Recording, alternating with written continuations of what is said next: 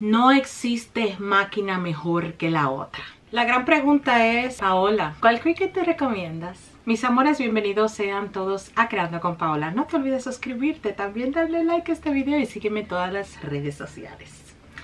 En este video voy a aclarar todas tus dudas y te voy a decir cuál es la máquina que yo recomiendo al final de este video.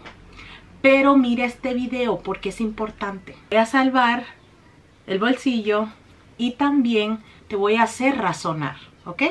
Es muy importante. Al tú darle tap o clic al título de este video, te vas a dar cuenta de que hay un enlace eh, en donde le puedes dar clic ahí, te va a llevar a esta página que es mi página Creando con Paola. Aquí puedes colocar tu correo electrónico y le puedes dar a descargar. Creé este formato para ti para que tú le hagas check a las opciones que tú quieres que te van a llevar al resultado de cuál es la máquina para ti. Quiero que sepas de que cada máquina que está en el mercado tiene su público. No existe máquina mejor que la otra. Te lo digo yo que tengo todas las máquinas, solo me falta una, pero que es la Explore 3, pero tengo todas las máquinas de Cricut. Y a esa conclusión he llegado yo. Ya no más de que esta es la mejor máquina. ¿ok? Búscate un papel, búscate un lápiz y un papel porque yo te voy a decir cuál es la máquina para ti. O en el celular, no importa, ¿ok? La nota, lo que sea, un mensaje, whatever. Para ustedes saber cuál es la máquina, especialmente para ustedes, tienen que escribir cuáles son las necesidades que ustedes tienen y qué cosas ustedes quieren hacer. Por ejemplo, papelería, vinil, textil, vinil adhesivo. Entre esas tres categorías nos podemos quedar por ahora porque esas son las más generales. Pero acuérdate que yo te dije que cada máquina tiene su público. Te lo dije, ¿verdad? Te lo dije. Vamos a comenzar con las makers. Vámonos para la make, ¿ok? Porque muchas personas no saben esto. La Maker viene con un sinnúmero de navajas que hay que comprarlas aparte. Pero la Maker, en mi opinión, es creada para personas que quieren hacer mucho más en base a la papelería creativa. ¿Ok? Aquí están la mayoría de las navajas de la Maker. Que yo también tengo una serie de cómo utilizar. Estas navajas cortadoras o herramientas tienen su propia función para papelería creativa. Así que la Maker está muy enfocada en papelería creativa eh, y, lo agrego y lo agrego por las navajas que trae. Entonces, de todo lo que tú escribiste, haz un check si en eso es lo que tú te quieres estar basando. Papelería creativa all the way. Ok, la máquina, la Maker es eh, más rápida, corta más materiales, claro que sí. Papelería creativa tiene que ver con más papel, variedad de papel, mucha variedad de papel. Vámonos entonces ahora con la familia Explore. Sí, la Explore. En la Explore también puedes cortar papeles pero en la Explore no puedes utilizar las navajas con las que puede trabajar la máquina Maker, la Maker o la Maker 3, ¿ok?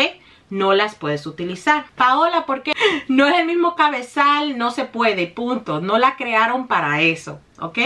Entonces, ¿Qué es lo que trae la Explore? En la Explore tú puedes utilizar, obviamente que lápiz, obviamente eh, trae como tres navajas si yo no me equivoco, que son la rosada que es para tela, la, estándar que es la, la de plata, y la negra que es para cortes profundos. También existe una dorada que yo creo que es como que más fina, creo yo aquí te la voy a colocar, te voy a colocar también qué significa esa, esa navaja, pero generalmente todos utilizamos la estándar, que es la plateada.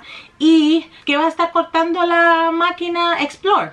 Va a estar cortando vinil textil, va a estar cortando eh, vinil adhesivo, va a estar cortando papel sticker, va a estar cortando también papel cartulina. Hace lo mismo que la Maker, pero no tiene la variedad de herramientas que tiene la Maker. Ahora ponte un check, un check mark, un check mark en las cosas que tú crees que vas a hacer, que puedes hacer con la Explore.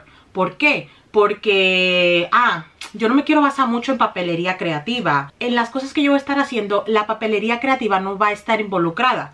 Bueno, pues la Explore, cualquiera de las Explore, es buena para ti si vas a estar utilizando vinil. ¿Ok?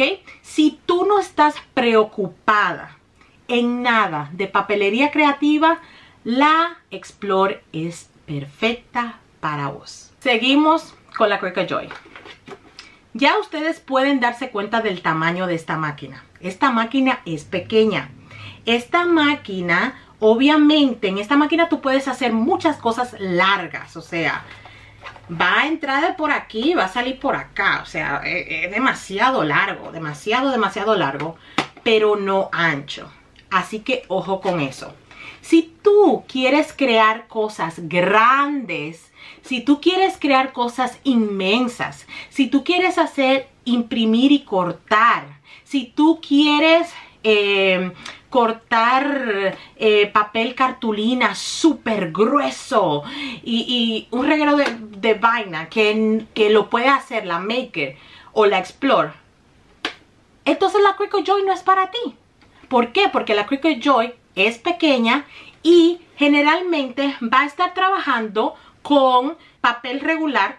Digo papel regular como papel cartulina de 65 libras. Y va a estar trabajando con vinil y vinil textil. Pero, o sea, de aquí tú no vas a sacar un imprimir y cortar. No lo vas a hacer. Así que a un check, a un check. Ok, la Joy eh, no, la, no la puedo comprar. ¿Por qué? Porque no voy a poder hacer printing cut. ¿Ok? Tú misma vas a hacer un checks en lo que tú necesitas y lo que no necesitas. ¿Ok? Esta, en esta puedes cortar vinil, puedes cortar vinil textil, puedes cortar papel cartulina.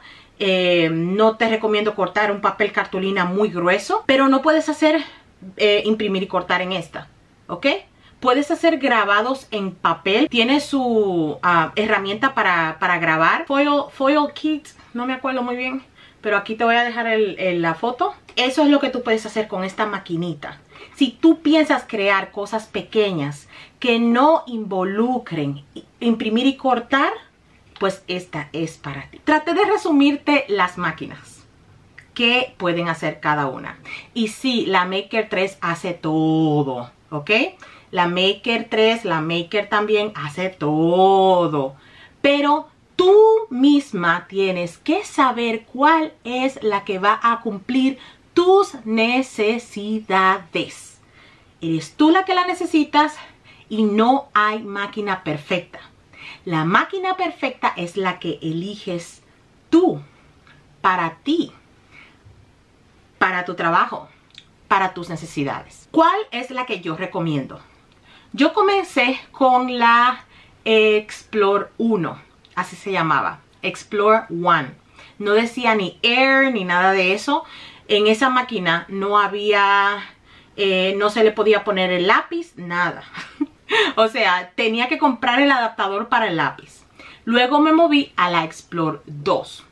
Y porque yo necesitaba cortar vinil, vinil textil, no necesité comprar, no, no necesité hacer papelería creativa en aquellos tiempos, pues la Explore 2 fue la mejor para mí y es la que yo recomiendo en cuanto a mi experiencia.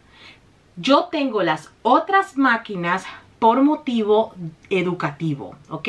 Las tengo para educarlos a ustedes. Y esas máquinas me han dado a mí la experiencia y el resultado de que cada máquina tiene su público. Cada máquina tiene su cliente, ¿ok? Espero que esto haya sido como que, ¡pum! Como que se te prendió el bombillo de que no hay máquina perfecta, no hay mejor máquina la mejor máquina es la que tú compres para tus necesidades, ¿ok? La que cumpla todos tus deseos y tus necesidades. Esa es la mejor máquina. Y que los checks te hayan ayudado a encontrar cuál es la máquina para ti. Así que eso es todo. Espero que hayas entendido este video. Mándaselo a cualquier persona en el mundo entero para que pueda entender cuál es la máquina perfecta para esa persona. ¿Ok? Nos vemos en la próxima. Bye.